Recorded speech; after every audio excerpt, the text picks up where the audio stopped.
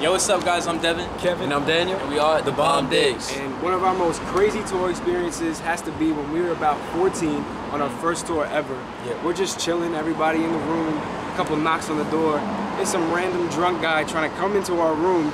He was like, you guys look like you're having some fun in there. Mm-hmm. And was he trying heard to the girls in there, too. He was trying to get into the room and we were just 14 years old, like, all right, pushing this dude out the room.